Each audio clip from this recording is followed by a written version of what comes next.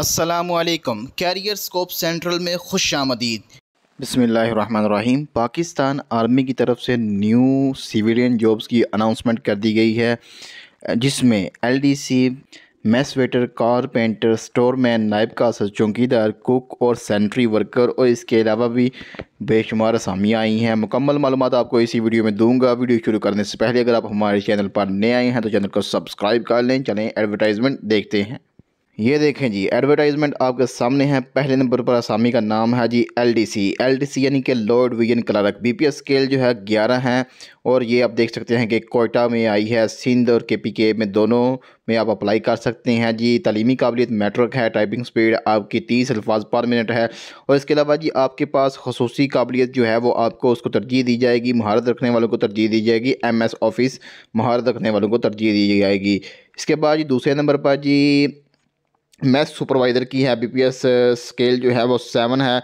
पाँच सामियाँ हैं, पंजाब में सिंध और के पी के तीनों में अप्लाई कर सकते हैं। एफएससी आपके पास तालीम होनी चाहिए ट्रेड के काम में महारत रखता हो। इसके बाद जी मुतल शबे में तजर्बा और महारत रखने वालों को तरजीह दी जाएगी। तीसरे नंबर पर जी कारपेंटर की असामी है, सिंध के शहरी अप्लाई कर सकते हैं। मैट्रिक साइंस में और ट्रेड के काम में महारत रखता हो। इसके बाद तीन साल का डिप्लोमा मुतल शबे में इसके पास होना चाहिए। इसके बाद जी तीसरे, चौथे नंबर पर जी स्टोर मैन की असामी है B P S scale five है। लोकल बलोचिस्तान के तमाम अदला में अप्लाई कर सकते हैं। इसके बाद जी, आपके पास मैट्रिक या army selection centre, office, education इसके बाद जी, आपके पास ये महकमाना, इम्तहान पास करना लाजमी है। इसके बाद ये आपके पास ये इजाफ़ी काबिलियत क्या होनी चाहिए? आपके पास इजाफ़ी काबिलियत और स्टोर में काम का तजर्बा रखने वालों को तरजीह दी जाएगी। इसके बाद जी नायब कासद की भर्ती है लोकल बलोचिस्तान वाले अप्लाई कर सकते हैं, तलीम प्राइमरी है। इसके बाद जी क्लास अटेंडेंस की असामियाँ बी पी एस स्केल एक है, बलोचिस्तान के तमाम अजला में से आप अप्लाई कर सकते हैं। तालीम की बात कर लें तो प्राइमरी होनी चाहिए। मुतल काम में महारत रखने वालों को तरजीह दी जाएगी। इसके बाद जी कुक की असामी है। बलोचिस्तान के तमाम अदला में से अप्लाई कर सकते हैं। तलीम प्राइमरी है और आपके पास एक्सपीरियंस जो है वो थ्री स्टार या ऊपर के होटल या क्लब में काम करने का पाँच साल का तजर्बा होना चाहिए। इसके बाद जी सेंट्री वर्कर की असामी है। लोकल बलोचिस्तान के तमाम अजला में अप्लाई कर सकते हैं। तलीम प्राइमरी है। इसके बाद जी सफ़ाई के काम में पाँच साल का तजर्बा होना चाहिए। इसके बाद चौकीदार की असामी है, लोकल बलोचिस्तान वाले अप्लाई कर सकते हैं, तलीम प्राइमरी है।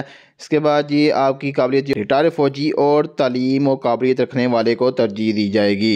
इसके बाद ये आप नीचे देख सकते हैं कि उम्मीदवार अपनी दरख्वास्तें, तलीमी इसनाद, डोमिसल, तजर्बा के सर्टिफिकेट कॉमिशनसी कार्ड तस्दीक शुदा नकूल और दो अदद पासपोर्ट साइज़, हालिया तस्वीर, साथ इश्तहार इशात के पंद्रह दिन के अंदर आपने जो है अर्सल करवानी है। कहाँ पे अर्सल करवानी है जी? ये एड्रेस है जी इसी branch headquarter E M E centre Quetta cantt में आप जो है अपनी दरख्वास्त जमा करवाएँगे। ये रबता नंबर इन्होंने दिया हुआ ये यहाँ पे रबता नंबर है। इस पर कॉल करके आप भर्ती की मालूम ले सकते हैं।